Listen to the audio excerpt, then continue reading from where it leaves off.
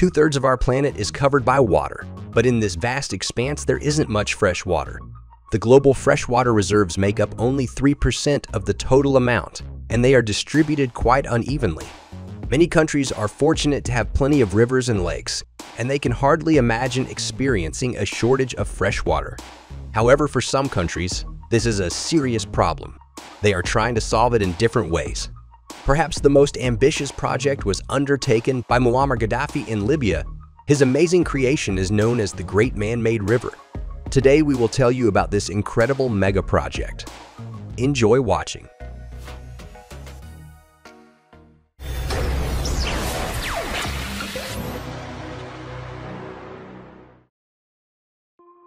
Ninety percent of Libya is covered by deserts. There is hardly any rainfall, and due to the high air temperature, moisture quickly evaporates. In the middle of the 20th century, Libyans were searching for oil in the Sahara, but instead they stumbled upon something equally valuable to them. Back in 1953, geologists didn't even realize the treasure they had discovered.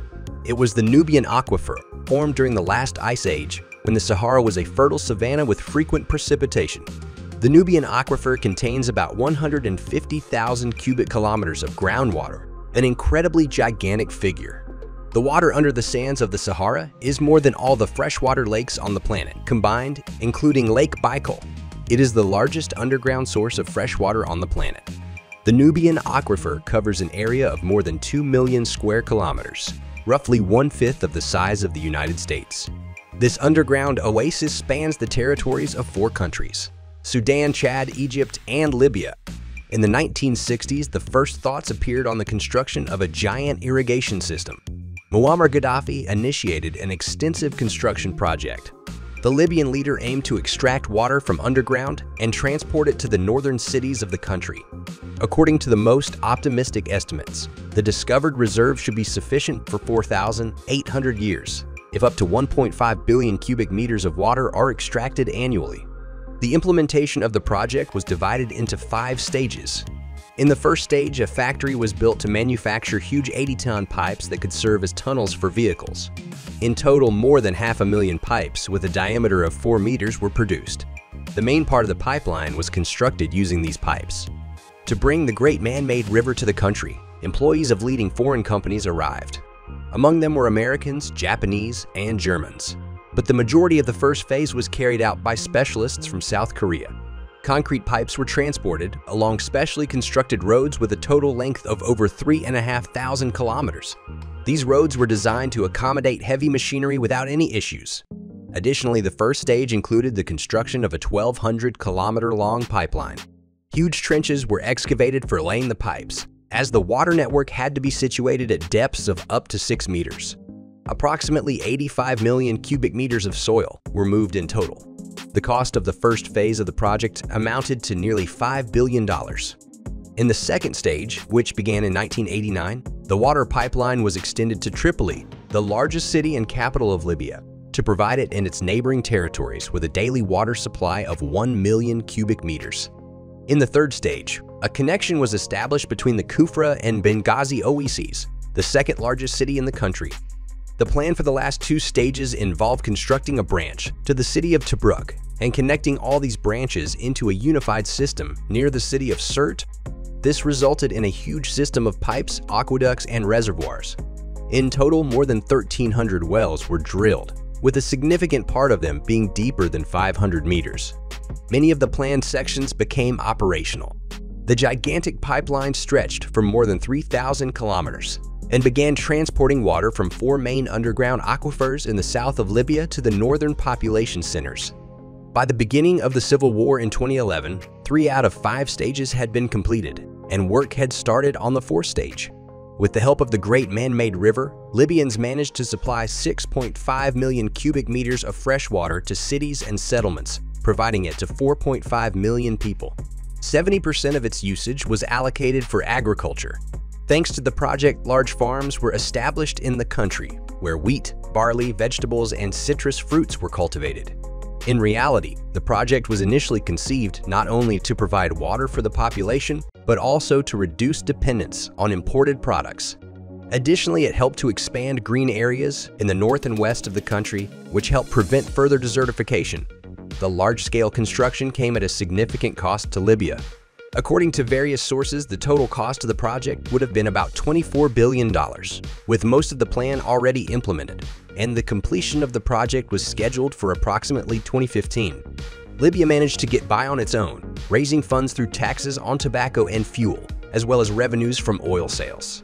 However, the true cost to the local population remains a mystery that we may never fully uncover, as many political analysts refer to Gaddafi as a bloody tyrant and his regime in the West was seen as a source of international terrorism. But there is another perspective. Some considered him a talented politician and a virtuoso leader who did much for ordinary Libyans, but we will leave it to historians to reflect on Colonel Gaddafi's personality. As early as the third stage of construction in 2008, the Great Man-Made River was entered into the Guinness World Records as the world's largest irrigation complex. Western media reluctantly covered this project, even though its scale remains unmatched. Consider just the expenses for producing the pipes. For every 7.5 meter long pipe, 8 kilometers of carbonized metal wire were required. The total length of this wire would be enough to encircle the Earth 230 times. The stones and sand used in making these pipes would be enough to build 16 pyramids in Giza. The cement used in the project could have paved a highway from Tripoli to Finland and continued on to Sweden. Libyans managed to create an engineering marvel with which they could irrigate thousands of hectares of land and transform the region literally before their eyes. But in 2011, construction came to a halt. The escalating civil war and the military intervention by an international coalition threatened Libya's existence as a unified state. In the autumn of 2011, Muammar Gaddafi, who had effectively ruled Libya for over 40 years, was captured by rebels. He faced a brutal, swift trial and was subsequently killed. After his death, the country descended into chaos, and there was little room for irrigation projects. The war caused damage to the sections that had already been constructed. NATO forces in particular bombed them, and uncontrolled groups added to the destruction. NATO troops also bombed the pipe manufacturing plant, claiming that it supposedly stored military equipment including rocket artillery systems. Even local residents dismantled some facilities to sell. In recent years, the press has often reported on the shortage of drinking water in Libya. Periodically, it is used as a tool in the struggle for influence by various political forces, and ordinary people suffer as a result. Unfortunately, due to neglect, lack of technical maintenance for stations, and armed attacks, the water pipeline infrastructure is being destroyed. The great man-made river is gradually losing its grandeur. What was built by people is perishing due to their own activities. According to experts, if the project had been fully realized and had no obstacles to its uninterrupted operation, North Africa could have become the world's breadbasket. When this will happen is unknown, and whether it will happen at all remains uncertain.